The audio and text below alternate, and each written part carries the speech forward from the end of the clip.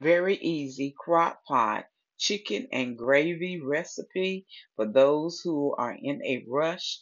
You can put this on top of rice, mashed potatoes, mixed vegetables, or however you want to fix it.